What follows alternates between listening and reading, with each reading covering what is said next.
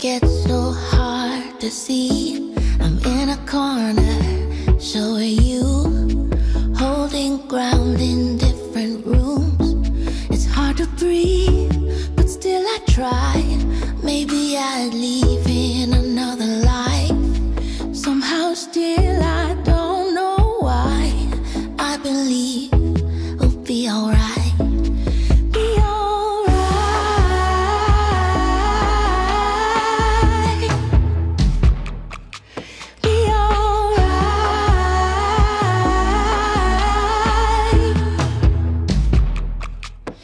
shut down. I get fed up. Nothing I do seems like enough. But then I hear you call to me, and I begin to feel safe.